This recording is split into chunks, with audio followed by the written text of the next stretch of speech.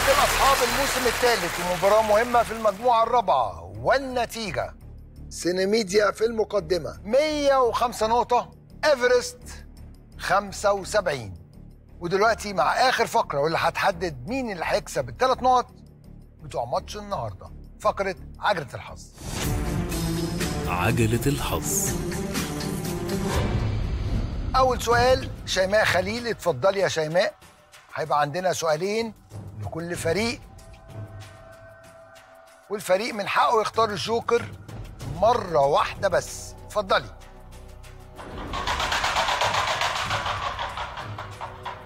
سؤال في القدرات الذهنية. يا ترى السؤال ب 20 نقطة ولا ب 30 نقطة؟ 30 دوس على البازر.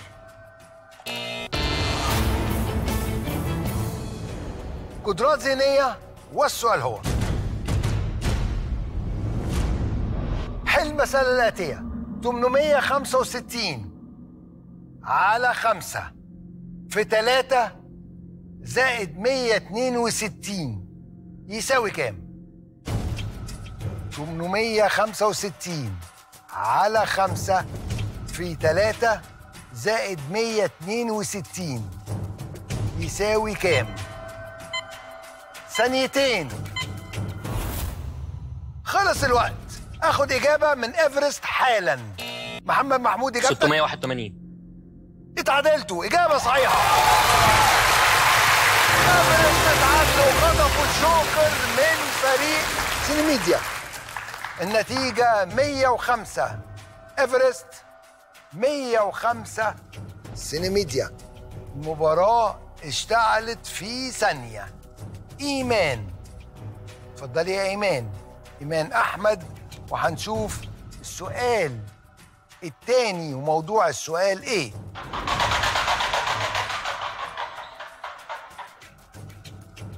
قدرات. قدرات ذهنية.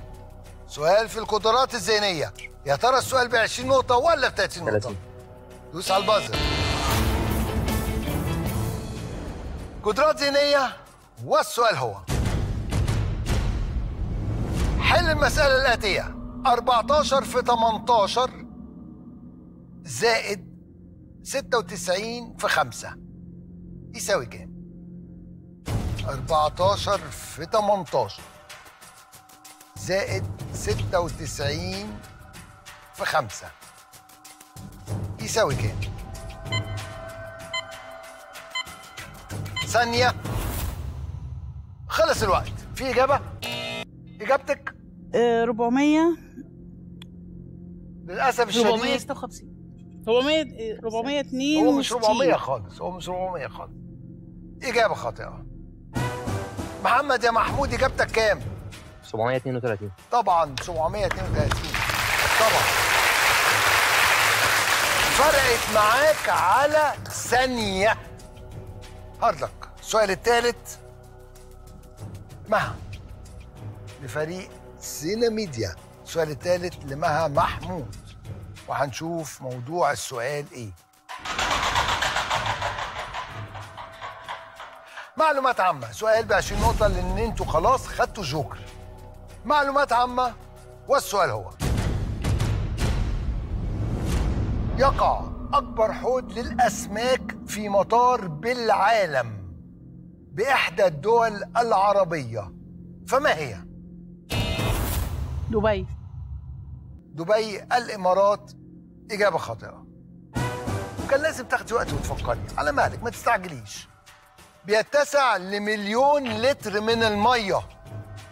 ويصل ارتفاعه ل 14 متر. في أكتر من 2000 سمكة. منهم أسماك القرش. فين بقى؟ قطر؟ قطر.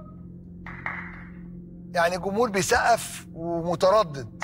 إن شاء الله صح. يعني بص الجمهور بيسقف ويرجع تاني في كلامه.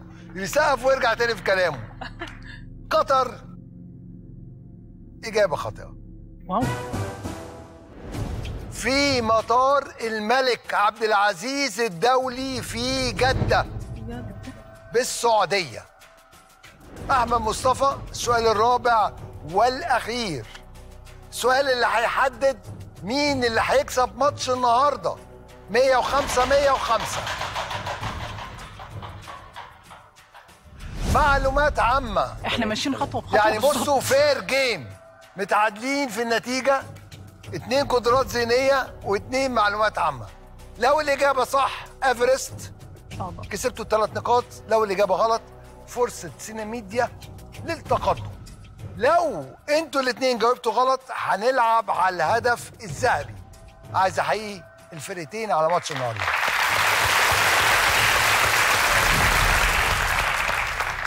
معلومات عامة والسؤال هو اكتشف الإسباني هرناندو دي سوتو أحد الأنهار عام 1541 فما هو؟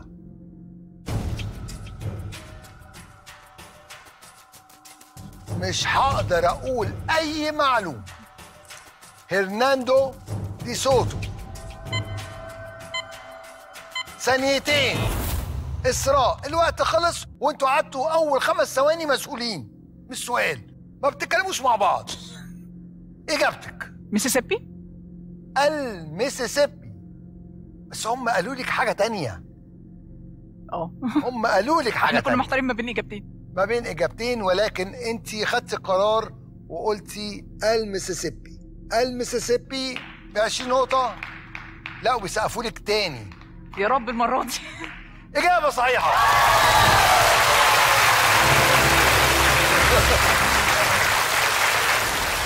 الميسيسيبي ألف مبروك لإيفرست hard luck لسيني ميديا hard luck hard luck. تحية كلها hard luck ميديا. hard إيفرست بإجابة السؤال ده أفضل لاعب في ماتش النهاردة إسراء عبد اللطيف ب الله. 50 نقطة.